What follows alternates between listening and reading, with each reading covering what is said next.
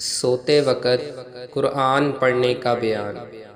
उम्मुलमुमिनीन हज़रत आयशा रज़ी अल्लाह से रिवायत है कि रसूलुल्लाह सल्लल्लाहु अलैहि वसल्लम हर रात जब अपने बिस्तर पर आते तो अपनी दोनों हथेलियाँ इकट्ठी करते, फिर इन दोनों पर ये सूरते, कुल हुवल्लाहु अहद, कुल आऊज़ु बिरब्बिल फलक, और कुल आऊज़ुबी बिरब्बिन नास पढ़ कर फूंक मारते।